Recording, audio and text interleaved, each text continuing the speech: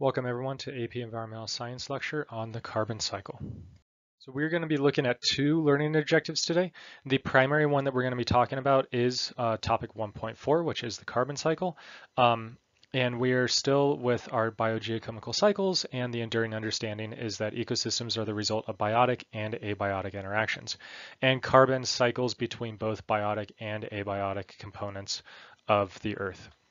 The learning objective, just to be able to explain the steps and reservoir interactions of the carbon cycle. And as usual, we'll go to the essential knowledge at the end.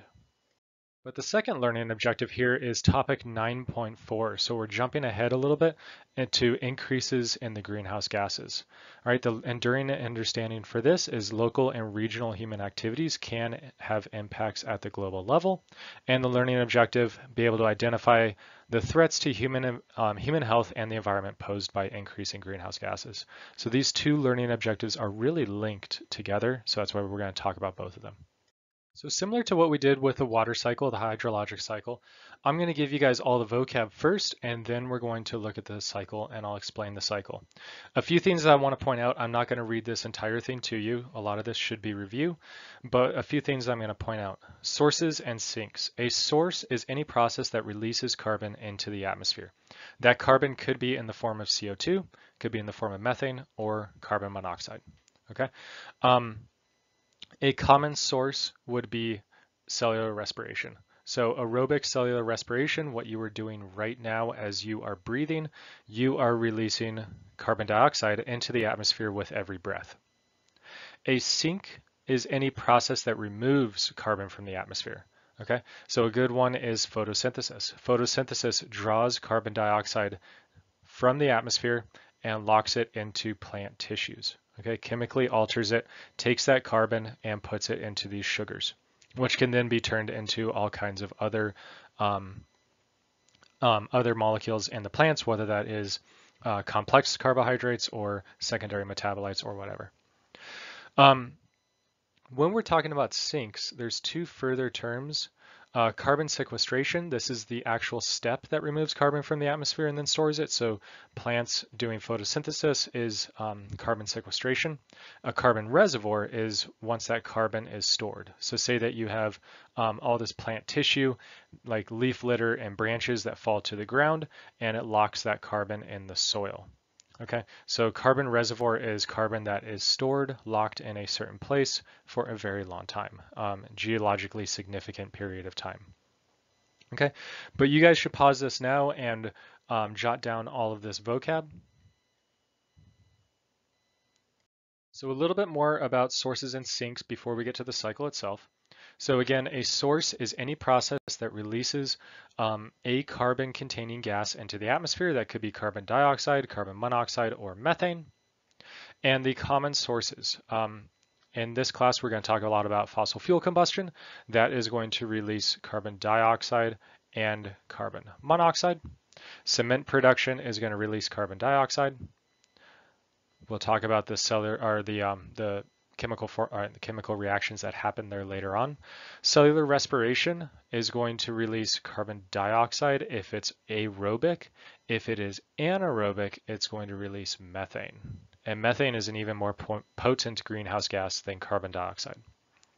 Volcanic eruptions are going to release carbon dioxide and a little bit of carbon monoxide, but not a lot any type of combustion. So this could be a candle burning in your room. This could be a fireplace um, in your living room. This could be a forest fire. Any type of combustion is going to release carbon dioxide and maybe a little bit of carbon monoxide from incomplete combustion if there's not enough oxygen in the air. Deforestation is going to release carbon dioxide, carbon monoxide, and methane it's going to release carbon dioxide through both cellular respiration as uh, fungi and bacteria start to break down the dead wood that remains from the deforestation, but also because there's often a combustion part to deforestation, right? So you go through and you deforest an area and you get all of the um, all of the logs of any trees that have monetary value, you sell those, um, but anything that remains, anything like all the brush, anything, all the all the um, the limbs off of those trees, they get piled up and burned in many cases. It could also release methane if we're talking about anaerobic decomposition that happens um, from all the material that's left over from deforestation. Waste incinerators, this is a type of combustion, so it's going to release carbon dioxide and potentially a little bit of methane, but probably not a lot because you'll have complete combustion going on. Landfills are going to release all three, primarily carbon dioxide and methane. And then industrial manufacturing, um, so many different processes involved in that, but primarily carbon dioxide. Okay. Um, carbon dioxide is really the one that we're worried about the most. Methane is a more potent greenhouse gas than carbon dioxide is, so we're definitely worried about that. Carbon monoxide um, is definitely worrisome, and it typically comes from incomplete combustion, but there's often much, much less of that being released than carbon dioxide. Okay. For the sinks, a sink again is any anything where that stores carbon for a very long period of time. So any process that draws carbon down and stores it. Um, and we'll talk about these at length through the semester, as we will the sources. But soil is a great carbon sink. There is tons and tons and tons of carbon locked in soil, primarily from vegetation putting organic matter into that soil, but also from inorganic carbon in that soil as well. The oceans, um, there is carbon, di carbon dioxide just readily dissolves into the oceans and it can um, in the ocean react with water to form carbonate ions, which can then be, um, you know, I'm getting a little bit ahead of myself in here, but they can be um, uh, react with, with calcium and form inorganic sediments, or they can um, react with calcium in a living thing and form organic tissue um, or organic limestone and then settle to the bottom of the ocean. So that's what we're talking about here. Those two are pretty much linked. Uh, reforestation, so basically using vegetation and growing forests, um, and afforestation. So reforestation is adding forests um, to an area where they were once forests, but they've been cut down and we are reforesting that area. Afforestation is planting trees in an area where there was previously not forest. It was some other biome, could be a grassland, could have been a desert, and then you add trees to that area and establish them and establish a forest.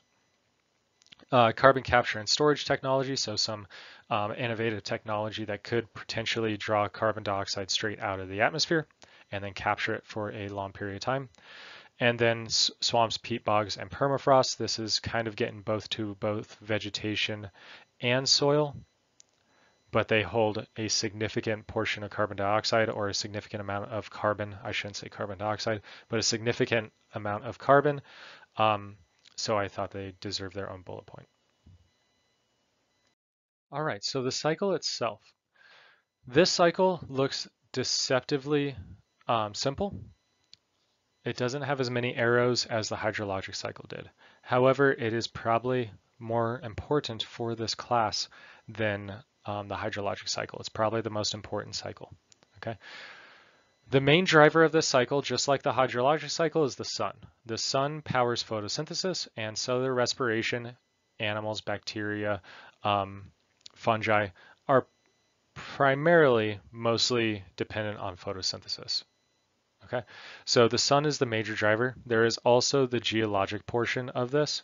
So the geologic portion, which we'll get to later, but the sun is the primary driver because it powers photosynthesis and photosynthesis and so the respiration are the biotic drivers of this cycle. Okay, so let's start in the atmosphere. We're going to stick with carbon dioxide just to make things simple. Carbon dioxide in the atmosphere. It can get drawn down by photosynthesis. Okay, so carbon dioxide from the atmosphere gets taken up by plants, and those plants use that carbon um, from the carbon dioxide to make their tissues. Okay, so they literally take carbon dioxide from the atmosphere and incorporate it into their tissues. They do not take any carbon from the soil. Okay, plants take all of the carbon from the um, in their biomass from the atmosphere, which is pretty crazy if you think about a, you know, 2,000 pound oak tree. That 2,000 pound oak tree is primarily cellulose, and a lot of that uh, dry weight of that tree is carbon. All of that carbon came from the atmosphere in the form of carbon dioxide. Animals will eat those plants, plants will respire, fungi will um, decompose those plants, bacteria will decompose those plants, and they will all respire and take um, or release either carbon dioxide or methane into the atmosphere. Okay, and these two pretty much balance each other out. It's not complete balancing, but it's pretty much balancing each other out. Okay, there is a little bit of this um, uh, of this biomass of this plant matter that gets locked in the soil. Okay, but more or less, this is a um, complete balanced reaction. Photosynthesis, drawing it down, cellular respiration, putting it back into the atmosphere. Okay, over on the right, we have the air-sea gas exchange. Carbon dioxide from the atmosphere is going to dissolve into the oceans. And when it dissolves into the oceans, it can react, or it often does react with water to form carbonic acid, which is H2CO3. And that reaction is balanced for us. Okay, but some of that dissociates and some of the CO2 that is in the water leaves the ocean and goes back into the atmosphere. So we have this air-sea gas exchange where carbon dioxide goes in, carbon dioxide goes out of the oceans. Okay. In the oceans, some of the dissolved carbon dioxide is just going to be carbon dioxide, and it's going to drive marine photosynthesis. And then there's going to be respiration in the oceans, and those two are going to be mostly equal and opposite drawing carbon dioxide down through photosynthesis and releasing it back again into the atmosphere through respiration. Okay, but not all of it is going to um, get released back into the atmosphere through respiration. Much of it, especially limestone, which is CaCO3, will form ocean sediments. Okay, so some of this um, organic matter is going to settle down to the ocean bottom and form sediments. Okay, organic sediments primarily. And then we have the geologic portion of this. The geologic portion, um, carbon dioxide will be released through volcanism. Carbon dioxide will also be drawn down through weathering. So weathering of terrestrial rocks we'll show this a little bit later, will draw carbon dioxide from the atmosphere and incorporate it into inorganic limestone. So again, CaCO3. And that will form not only soil carbon, but also um, soil sediments. Okay. Um, when going back to this photosynthesis, some of this, again, I said some of this um, carbon from both types of photosynthesis are going to get locked in either sediments or soil. When they do, if the conditions are right, they can form fossil carbon. Fossil carbon is otherwise known as coal, oil, and natural gas. All right, that carbon can stay locked as organic geologic carbon for very, very long periods of times, hundreds of millions of years. Okay. So let me erase all of my chicken scratch, all of my really poor handwriting, and just go through the cycle one more time. Okay. The main driver, again, is the sun, and the sun is going to power um, uh, photosynthesis. Okay. That is going to draw carbon dioxide down into um, into biomass, either in the terrestrial system or the oceanic system. Equal and opposite of that is respiration, and respiration will take that organic matter and burn it and put that carbon dioxide back into the atmosphere. Plants respire, algae respire, animals respire, fungi, bacteria, protists, they all respire. Okay, That carbon dioxide that's in the atmosphere can also dissolve into the oceans.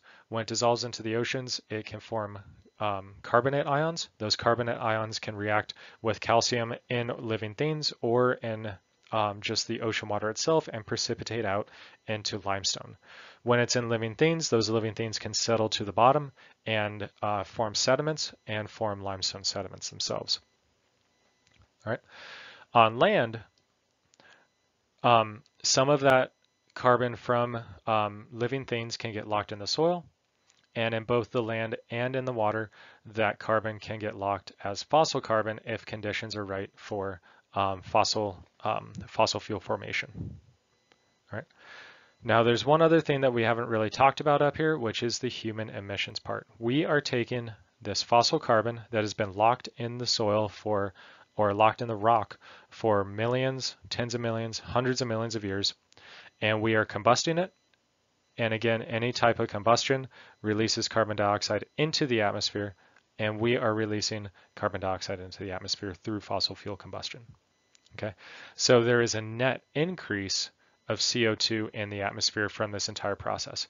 If we were just looking at the natural arrows on this, you know, um, marine photosynthesis and respiration, um, terrestrial photosynthesis and respiration, the weathering of rocks and volcanism, we would see that there is basically a net um, net zero increase of carbon dioxide in the atmosphere. But this human emissions part is the one that is adding more carbon dioxide to, to, the atmosphere, disrupting this whole this whole cycle and causing a net increase of carbon dioxide in the atmosphere. All right, and that net increase is illustrated by this diagram. This diagram was um, created by the U.S. Department of Energy, the DOE, so U.S. Department of Energy. Okay, um, and it basically shows more or less what I showed on the last diagram, where you have photosynthesis drawing carbon down, but in this case, they actually have numbers associated with that. These numbers are gigatons of carbon per year. Okay, so a gigaton is a billion tons, so we're talking about a billion tons of carbon per year. The atmosphere has about 800 um, gigatons of carbon dioxide. About 120 of the of that is drawn down every year through photosynthesis, but it's actually 123 gigatons of carbon dioxide is drawn down into the into biomass through photosynthesis. Plants respire out about half of that, um, anything that eats those plants, whether that is animals, fungi, bacteria, they're just saying microbial respiration and decomposition is releasing the other half of that, that as um, total creating that 120 gigatons of carbon dioxide that is being drawn down through photosynthesis. But there's that extra three gigatons right there that gets locked in the soil. So the soil carbon is um, gaining 3 gigatons of carbon every year, adding to this pool of 2,300 gigatons of carbon dioxide. The fossil pool is about 10,000 gigatons of carbon dioxide. We are taking that fossil pool, digging it up, and burning it at about a rate of 9 gigatons of carbon every year. If we move over to the ocean side, um, we have the air-sea gas exchange where carbon dioxide dissolves in, carbon dioxide gets released, um, powers photosynthesis. That photosynthesis, or those plankton, will um, will respire. All of the animals and the bacteria and fungi and the oceans will respire, and they will release, you know, that carbon dioxide back into the atmosphere. Equal but opposite um, formula. 90, 90, but you have that extra two gigatons of carbon dioxide that gets deposited into oceanic sediments.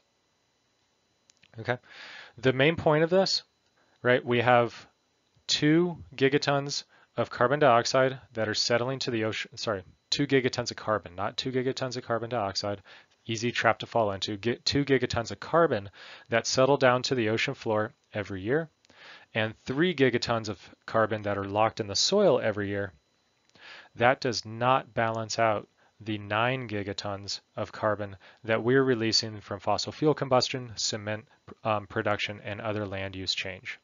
That is leading to a net increase of 4 gigatons of carbon dioxide every year in the atmosphere.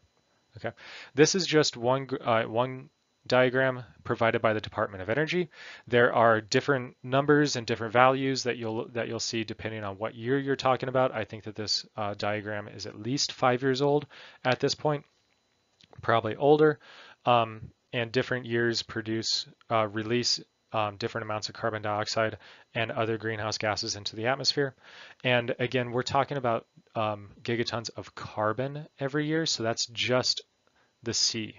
So we're not talking about CO2, which, you know, carbon itself just has an atomic mass of 12 atomic mass units, whereas carbon dioxide, if I do some quick mental math, um, will, oops, 42 AMU, right? 12 plus 16 plus 16. Each oxygen atom is 16, and then the carbon is 12, right? 42. Um, my math is wrong, 44. I am bad at math. Sorry about that. So 44 atomic mass units of carbon um, carbon dioxide every year. So notice that difference. Okay. So we are releasing um, lots of carbon, lots of carbon dioxide, lots of methane every year into the atmosphere. Um, but again, this is just one diagram provided by the Department of Energy. Different diagrams, different studies, different authors have different values, and it really depends on the year, the metrics that they're using. It is obviously very difficult to quantify this on a global scale. So that's why you'll see some different numbers um, at different times. All right, so some human impacts on the carbon cycle. The first is emissions of carbon. Um, this is primarily talking about fossil fuel use. So that fossil carbon that has been locked in the soil for millions, tens of millions, 300 million, or sorry, hundreds of millions of years is being released into the atmosphere. Okay, we're taking coal, oil, and natural gas and we are burning it and we are releasing primarily carbon dioxide, but also a little bit of carbon monoxide into the atmosphere through that combustion. Also nitrous oxide, but since we're talking about the carbon cycle, um, it's not a carbon containing gas, but it is a greenhouse gases. It is a greenhouse gas. These greenhouse gases, um, about 50 gigatons are released each year. Okay, and again, that's um, the greenhouse gas itself, so the CO2, the N2O itself. Okay, methane is a greenhouse gas, but it is not from fossil fuel combustion. Okay, you do not produce methane when you when you burn anything. All right, uh, deforestation. This will release carbon um, in the form of carbon dioxide, methane, um, through decomposition, through combustion, um, and through anaerobic decomposition. Okay, so there is about 10,000 gigatons of carbon locked in all plant matter. Again, going back to the graph, about 10,000 gigatons locked in plant matter. Um, and when we release, uh, or sorry, when we destroy forests, we release that carbon into the atmosphere as one of those forms. Degradation of soils, so soils are eroding um, and just uh, degrading around the planet. And there's about you know 2,700 gigatons of carbon locked in the soil. About two thirds of that is organic, meaning that it can decompose. So if we expose that organic um, carbon to the right conditions, especially oxygen, um, it can decompose um, through bacterial and fungal action. And about a third of that is inorganic. So we're talking about inorganic carbon like limestone or chalk. Okay. And because we're talking about um, the like the sorry the the the last thing the last bullet point on here is not um, related to global warming but instead ocean acidification. So when carbon dioxide dissolves into water any water including rainwater it will form carbonic acid. Okay? Formula is already balanced. Um, that carbonic acid when it's in the oceans leads to ocean acidification, which we'll spend an entire day on later in the year discussing. The primary thing that I want to focus on now is um, the fact that carbon dioxide, methane, and to a lesser extent carbon monoxide are all greenhouse gases. Nitrous oxide is also a greenhouse gas which is released uh, from burning fossil fuels, the nitrogen, um, any nitrogen that's in the fossil fuel. Those are all greenhouse gases and as you increase the concentration of those greenhouse gases, you are going to increase um, the uh, the global average surface temperature. So I'll say um, average surface temperature. Okay, that is going to lead to what we call global climate change. So global warming is a little bit separate from global climate change. Global climate change is incorporating um, or is a result of the warming process, and it's going to result in a lot of different things. So the first is warming of the Arctic. The Arctic is warming faster than anywhere else on the planet. When I say Arctic, I also mean Antarctic. So the poles are both warming faster than anywhere else. That is thawing the sea ice, that's thawing glaciers, that's thawing permafrost, that's uh, thawing ice sheets. And all of that water is running somewhere. And where it runs to ultimately is the oceans, leading to rising sea levels. Okay. Plus you have expanding warm waters because as water warms, as the oceans themselves warm, it is going to cause that water to literally expand, right? Um, water that is warmer has less dense, or sorry, is less dense, and meaning that the same mass is going to occupy a greater volume, and it's literally going to expand. Most of the rising sea level is due to thawing ice, but some of it is due to expanding warm waters. Okay. Um, all of this, uh, the global warming is going to lead to um, the changes in frequency or distribution or severity of storms and droughts. Essentially, it's going to make storms stronger if there is more heat in the atmosphere. That means that there is more energy that can lead to more evaporation, more water in the atmosphere, and more water plus more heat and energy translates to stronger storms. Okay. Also can influence uh, droughts as well. Okay. Changing species distributions, um, we'll talk about it a little bit later on, but um, each species is adapted for a certain range of temperature conditions. And if those change in an area, that species um, either has to move, migrate out, or it has to um, adapt, or it will go extinct. Okay, some species will benefit for this, and some species will not. Some species um, can go extinct. Okay, one of the more worrisome changes in species distributions is tropical mosquitoes that can carry malaria, dengue fever, yellow fever, um, Lassa fever, any of the tropical illnesses expanding into higher latitudes, both north and south. There's other effects, and we will discuss them for, uh, later on in the semester or the school year. So while we're talking about carbon dioxide and while we're talking about the carbon cycle, I thought this was a good time to see um, Keeling curves and to talk about Keeling curves because you will see these um, throughout the course as uh, and potentially on the AP test. So Keeling curves are named after the scientist that discovered this trend. His name is Charles David Keeling. And long story short, he started monitoring carbon dioxide levels on Mauna Loa and Hawaii, as well as the South Pole in the late 1950s. And the first year that he uh, took these readings, um, this is not from um, his first year. This is actually from March 7th of 2022, but I'll treat it as though it was his first year. Um, he found that carbon dioxide would go down during the northern hemisphere summer. So June, July, August, September, carbon dioxide is decreasing. And that as it transitions into fall, October, November, um, carbon dioxide would start to uh, go from decreasing to increasing. During the northern hemisphere winter and then into the northern hemisphere spring, carbon dioxide would increase in the atmosphere. And then it would fall again during the northern hemisphere summer. He didn't know why. Um, at first, he thought it was errors in his instruments or errors in his readings, but then he um, figured it out essentially there is more vegetation in the northern hemisphere than there is in the southern hemisphere. There is more land area in the northern hemisphere. During the northern hemisphere summer, um, those plants will draw down carbon dioxide from the atmosphere, incorporate it into their tissues, and then um, as the summer progresses, they draw down more and more and more carbon dioxide.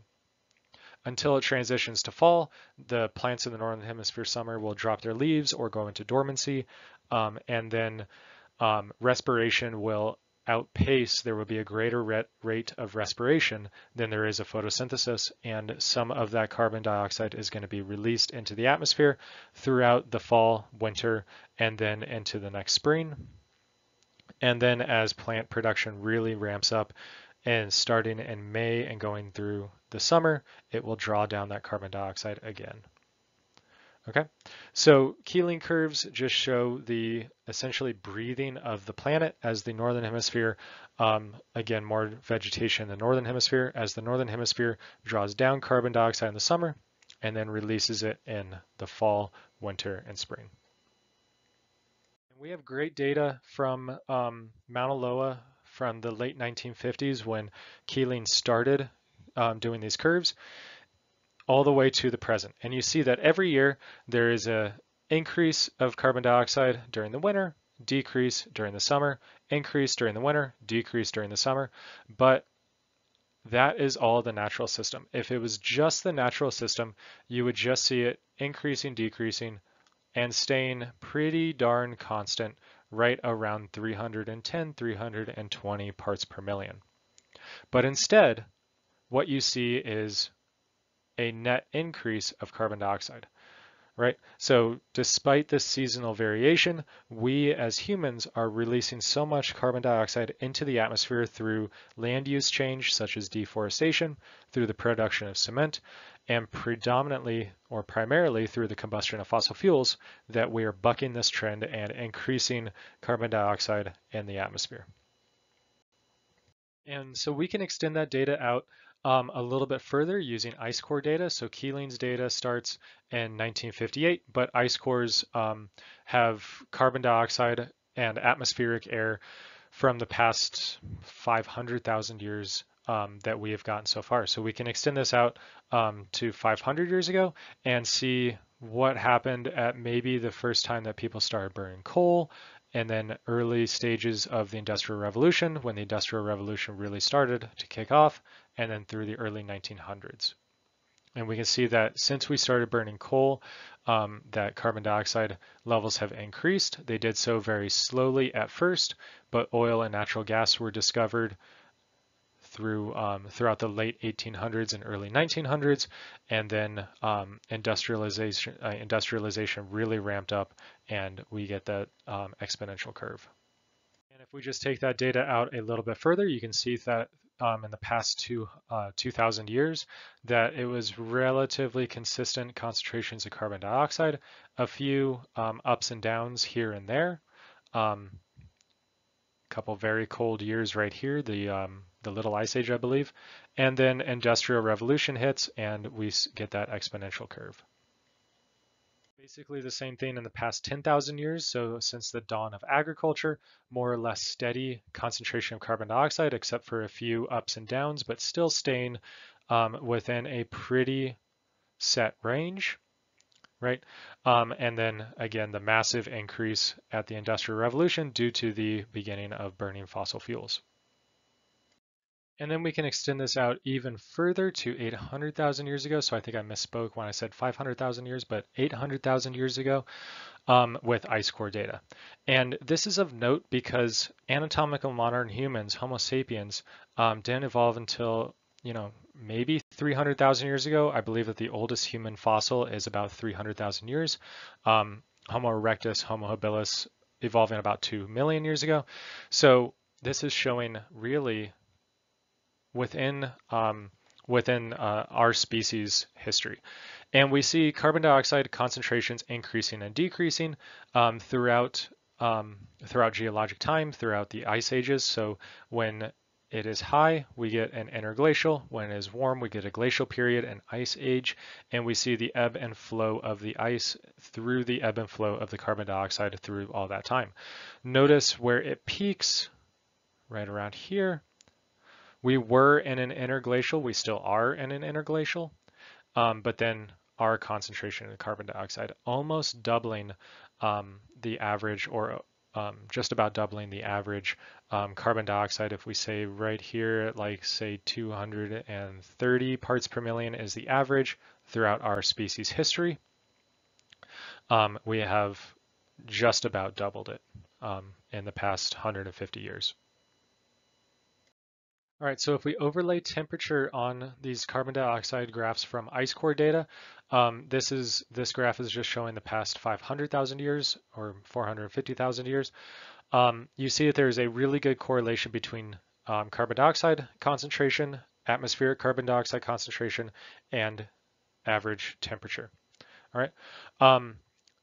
The temperature of 1960 to 1990 is being used as a baseline. Typically what that's that's zero. Typically what we actually use is the year 1750. 1750 is right before the Industrial Revolution as we traditionally think about, and it's the year that they typically use as the starting point at like temperature zero to tell the difference. Um, but in this graph, they're using um, 19, the average of 1960 and 1990. All right, and because carbon dioxide is a greenhouse gas, it influences temperature, and you see a very good correlation between those two lines. Um, as carbon dioxide levels increase, temperature follows and increases. As carbon dioxide levels decrease, temperature follows and um, decreases. All right, there is typically a little bit of a lag time there, often not enough to really see on the graph, but um, you know, a few years in real life. And then of course you see the spike up to um, above uh, uh, 350 parts per million, up to almost 400 parts per million um, that we have released so far, and we are expected to see that temperature rise accordingly.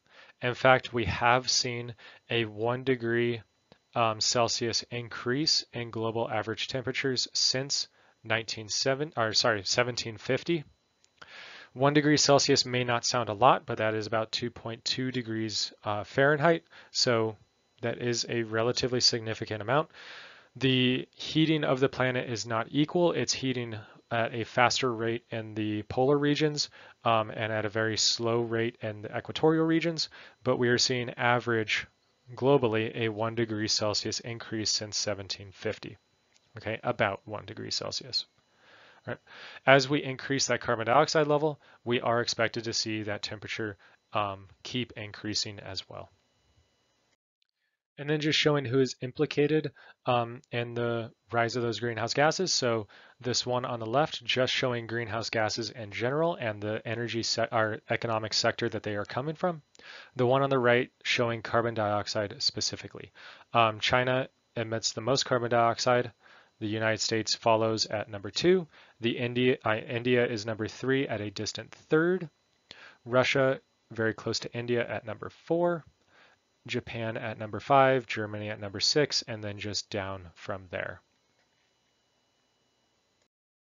All right, so there is one more part of the carbon cycle that I want to quickly mention, and that's the geologic carbon cycle. So there is the very long-term carbon cycle um, that is happening around the planet all the time. Essentially what happens is that atmospheric carbon dioxide is going to create calcium carbonate sediments um, through the weathering of silicate rock. We do not need to know the formulas of that. You notice that there's a lot of reactants and products that are missing here, but atmospheric carbon dioxide will get drawn down and form inorganic um, calcium carbonate, limestone or chalk. Okay, That cycle is completed through volcanism. So as volcanic activity goes through um, those uh, those carbon-rich rocks, it releases carbon dioxide back into the atmosphere, which again completes that cycle. However, that cycle is not even the rate of weathering is going to exceed the rate of volcanism. So more carbon dioxide is going to be drawn down through weathering than is released into the atmosphere through volcanism. Okay, so weathering on the left, volcanism on the right. More carbon dioxide is going to be drawn down through weathering than is going to be released through volcanism. But this is a very, very slow process. It has been occurring since the beginning of um, you know, the planet as we know it. And over geologic time, it's resulted in the drawing down of carbon dioxide. You have probably noticed, but not thought about it a lot, that um, the planet was warmer during the Carboniferous, during the Triassic, during the Cretaceous. During those periods in the past, um, the Earth was warmer and progressively getting cooler. Um, and this is one of the reasons for it. There's a lot of reasons for that. Um, has you know tectonic activity has a huge um, impact. The position of the continents, oceanic currents, but in general, this is driving that. So carbon dioxide is being drawn down over geologic time, and it could possibly make the Earth uninhabitable in about 800 million years, as carbon dioxide concentrations in the atmosphere fall below what plants can currently use for photosynthesis. Now, they probably will evolve um, to use less carbon dioxide by then, but who knows? Okay. So we're not really worried about this. We're not worried about what's going to happen in 800 million years through natural processes. What we're worried about is carbon dioxide emissions happening right now um, through human activity and what that means for the planet. It means a warmer planet. It means um, unpredictable and uncertain weather and climatic events. It means ocean acidification. It means warming oceans, rising sea level, all of those things. All of those things could lead to a mass extinction event that could wipe out um, you know, many species on the planet, many of which we have already wiped out through um, various human activities. Okay, but our ge like all of this activity of humans will all weather out in geologic time, and we're our our activity is just going to be a blip on the graph, and that's about it. Okay, so I'm going to show a quick diagram showing that, and then wrap this up. So real quick with the geologic um, portion of the carbon cycle, um, carbon dioxide and water are going to form carbonic acid. Again, that is H2CO3. And rainwater is slightly acidic because it does have carbonic acid in it. Um, you see that, that through the weathering of that silicate rock, right, we are eventually making calcium carbonate. That calcium carbonate is going to settle down to the bottom of the oceans and form inorganic sediments that can be uplifted or they can get drawn down into uh, the mantle through tectonic activity and melt and then that carbon, carbon dioxide can be released through volcanism. Again, the rate of weathering is going to exceed the rate of volcanism, so more carbon dioxide is going to be drawn down over time than is going to be released over time. So the geologic carbon cycle is um, the most minor part of this, what you guys really should know is what's listed in this essential knowledge. Okay, so the carbon cycle is the movement of atoms and molecules containing the element carbon between sources and sinks. We talked about the different sources and the different sinks and how carbon moves through that. Most of that is through chemical changes. Okay, some of the reservoirs in which carbon compounds occur in the carbon cycle hold those compounds for long periods of time. That could be calcium carbonate rock. That could be fossil fuels. Those are the two that hold it for the longest period of times. Oceanic sediments and soils also hold a lot of carbon for geologic periods of time. Okay, some of them, so those are long periods of time. Some of them hold it for relatively short periods of time. The main ones here is biomass, vegetation and animal matter. Okay, even if a even if a plant lives for 2,000 years, it will eventually die and it will eventually rot and release that carbon dioxide into the atmosphere. That's not a geologically significant period of time. That's a relatively short period of time. Okay. Uh, carbon cycles between photosynthesis and cellular respiration in living things. Again, that is mostly an equal and opposite process, but some carbon does um, get locked into soil or get locked into sediments okay, whether terrestrial or, or uh, marine. Plant and animal decomposition have led to the storage of carbon over millions of years. Um, that is really referencing the fossil fuels. And I don't like that term decomposition there because it is partially decomposed matter, but um, it's mostly matter that escaped decomposition. If it decomposed fully, it would be carbon dioxide or methane in the atmosphere. It would not be carbon locked in um, in in in the rock. Okay, so I take issue a little bit with that term decomposition, but what this is essentially saying is that plant and animal remains that settle down to um, oceanic or the ocean bottom or into swamps or into peat bogs can get compressed over time and form fossil fuels.